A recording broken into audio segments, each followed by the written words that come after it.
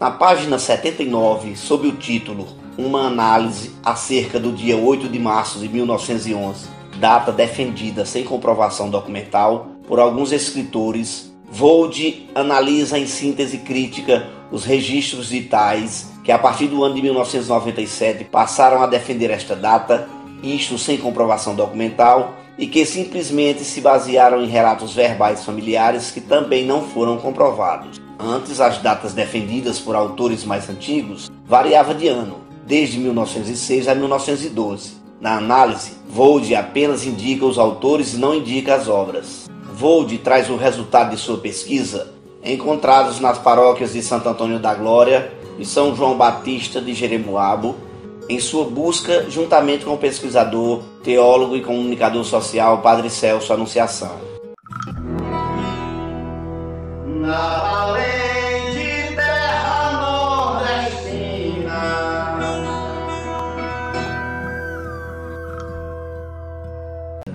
Muito de sua história, desde o seu nascimento até o dia de sua morte, a única certeza que tínhamos era esta data, de 28 de julho de 1938, o dia de sua morte.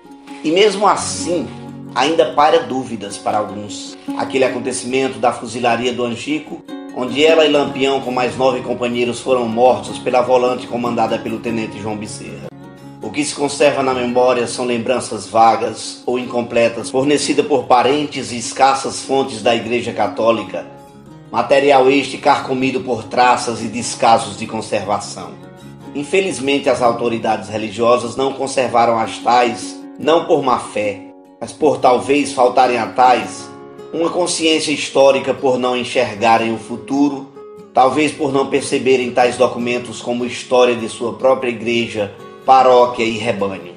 Os escritores da saga Cangaço foram ao campo investindo seus recursos de tempo e dinheiro do próprio bolso, pois faltavam-lhes patrocínios de entidades de cultura, tanto as particulares como as governamentais, como aliás aconteceu na história do homem sobre a face da terra, sendo que apenas poucos destes pesquisadores foram amparados oficialmente. Imaginem agora no nosso Brasil, onde a cultura sempre foi posta em patamar inferior.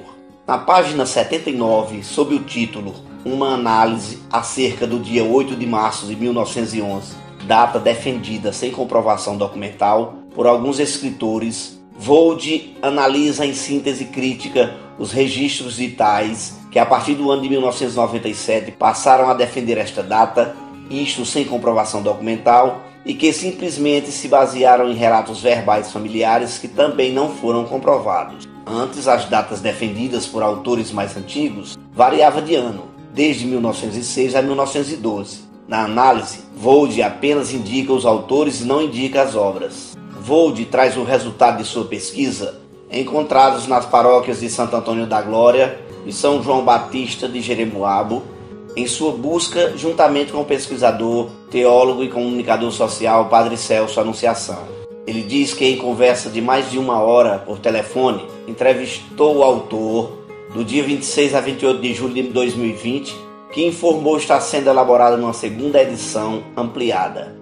E diz: Estive com Vold em diversos encontros do Cari de Cangaço, onde ele compartilhava comigo o assunto. E ano passado estivemos em Juazeiro do Norte, onde o autor entregou-me sua obra com uma dedicatória amável que agradeço imensamente. Nesta obra, ele traz fotografias de tais documentos, onde não pode existir mais dúvidas da data de nascimento de Maria Bonita. Transcrição do trecho da página.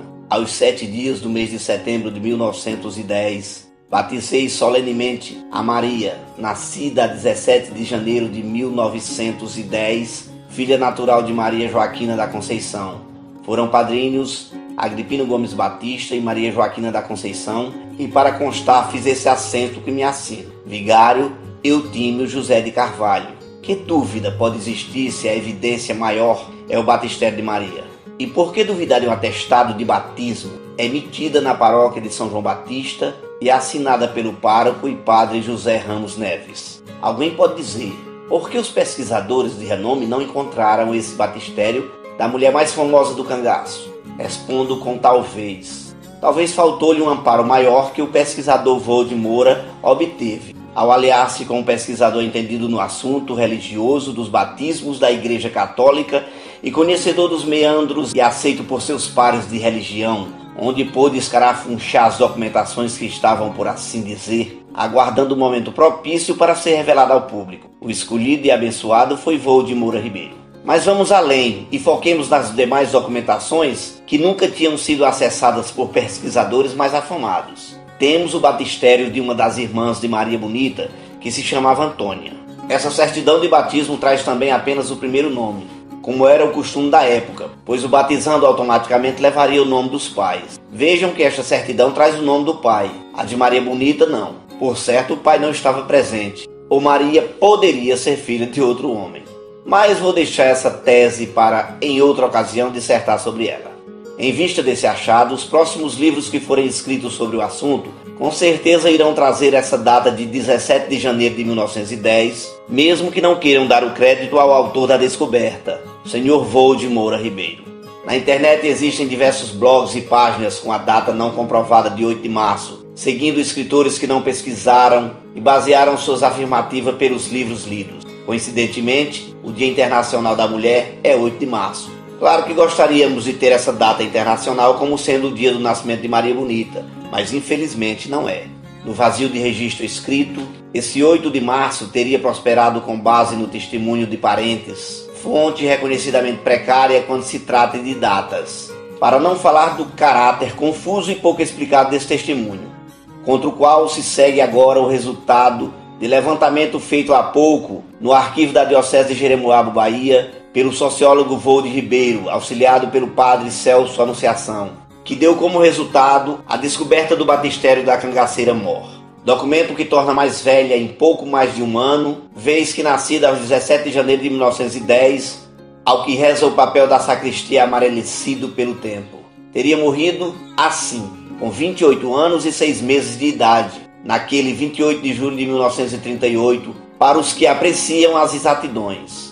Não sabemos como o grandioso pesquisador Antônio Amauri Corrêa de Araújo veio a obter essa data refurtada de 8 de março, mas se corrige ao reverenciar a descoberta do sociólogo Vold Moura, quando em seu livro Lampião, As Mulheres e o Cangaço, segunda edição de 2012, na página 162, faz constar uma devida correção.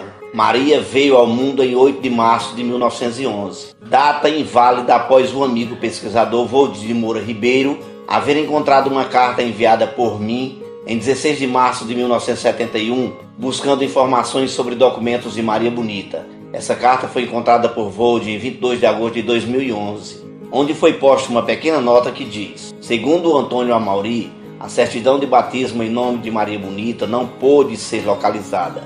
Maria deve ter nascido por volta do ano de 1908.